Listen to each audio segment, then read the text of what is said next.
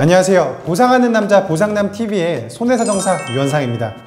교통사고 피해자가 되었다면 이에 합당하게 치료를 받고 내 손해에 걸맞는 손해배상금, 즉 합의금을 보전받아야겠죠.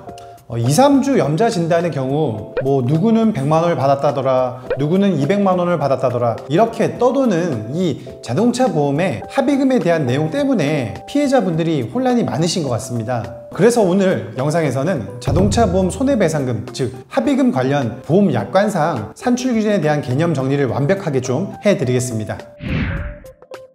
어, 피해자의 구분을 사망 경우와 부상의 경우 그리고 후유장애가 남는 경우로 좀 카테고리를 나누어서 설명을 드리겠습니다. 어, 먼저 사망한 경우입니다. 장례비의 경우 500만원, 사망 위자료로 피해자의 나이가 65세 미만인 경우에는 8천만원, 65세 이상인 경우에는 5천만 원이 지급되고요. 또 사망으로 인해 장래에 잃게 된 수입인 이 상실 수익액이 사망 시점으로부터 취업 가능한 연한이 65세까지 보상이 됩니다. 공식을 말씀드리면 월소득 빼기 생활비 곱하기 사망 시점부터 65세까지의 호프만 개수를 적용하여 산출하는데요. 그럼 이 호프만 개수가 뭔지 궁금하실 건데 어, 호프만 개수란 중간 이자를 공제하는 개수를 말하는 것으로 쉽게 말씀을 드리자면 미래에 받을 금액을 평가화시켜서 바로 받는 것이기 때문에 중간 이자를 공제하지 않으면 이 과잉 배상의 문제가 발생하므로 적용하는 개수라고 이해하시면 됩니다.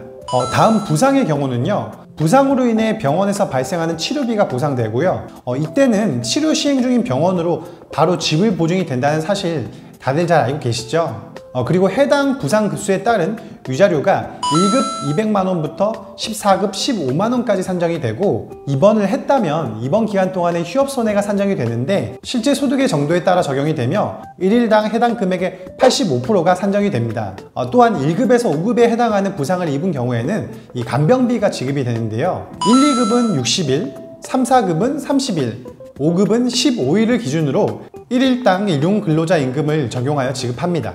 어, 그리고 통원치료 1회당 8,000원씩 기타 손해배상금이 산정됩니다. 어, 마지막으로 후유장애가 남는 경우가 있는데요. 어, 부상에 대한 치료 이후에 후유장애가 남는다면 자동차 보험 약관상 맥브라이드라고 하는 장애 평가 방법에 따른 후유장애를 평가할 수가 있는데요. 어, 당연히 교통사고로 인해 후유장애가 남았으니까 해당 장애로 인해 내가 장래에 잃게 된 상실 수익액을 산정할 수 있습니다. 어, 이때 공식은 월소득 곱하기 노동능력 상실률 곱하기 장애 기간에 따른 호프만 개수가 적용이 되고요.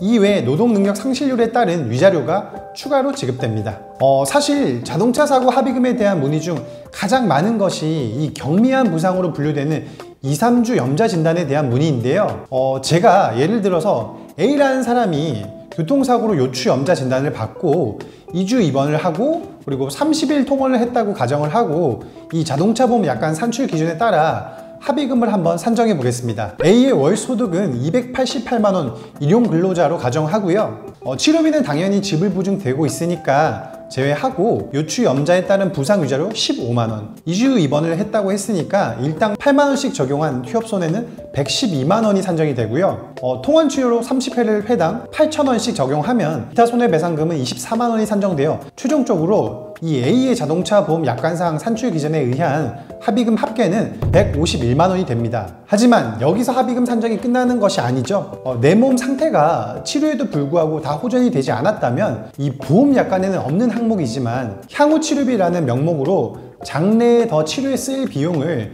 이 보험사에 요청해서 방금까지 산정된 합의금에 추가하여 보상을 받을 수가 있습니다. 어, 때문에 이 향후 치료비를 얼마만큼 인정받느냐에 따라서 2, 3주 경미한 부상의 경우 합의금의 액수가 천차만별이라고 보시면 되겠습니다. 자, 이렇게 해서 자동차 보험 합의금과 관련한 보험 약관 기준 산출 방법과 예시를 좀 설명드렸는데요. 어, 합의에 대해서 물어보시는 분들이 많으셔가지고 한 가지 더 말씀드리자면 어, 저는 경미한 부상의 경우 적절한 치료 후에 합의를 권해드리고요. 만약 내 부상이 심하다라고 생각되신다면 꼭 정밀 검사를 통해 명확한 진단을 확인한 후 이에 대한 치료와 장내 후유장애까지 검토해 볼 필요가 있다고 말씀을 드리고 싶습니다.